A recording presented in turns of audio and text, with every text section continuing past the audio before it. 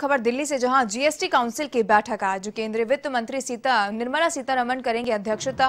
विज्ञान भवन में बैठक आयोजित होगी और जीएसटी दरें घटाने के प्रस्ताव को एजेंडे में यहाँ पर शामिल किया गया है। आपको बता दें कि राज्यों के वित्त मंत्रियों के साथ यहाँ पर चर्चाओं के बाद फैसला लिया जाएगा। प्रदेश के यूडीएच मंत्री शांति धारीवाल करेंगे राज्य का प्रतिनिधित्व। मंत्री शांति धारीवाल बैठक में राज्य का यहाँ पर पक्ष रखते नज़र आएँगे। आपको दिल्ली से खबर बता रहे जहाँ जीएसटी काउंसिल की आज बैठक आयोजित की गई है और प्रदेश के यूडीएच मंत्री शांति धारीवाल यहाँ पर राज्य का प्रतिनिधित्व करते नज़र आएँगे। साथ ही मंत्री शांति धारीवाल भी इस बैठक में राज्य का पक्ष रखेंगे। दिल्ली से खबर, जहाँ जीएसटी काउंसिल की आज बैठक रखी गई है।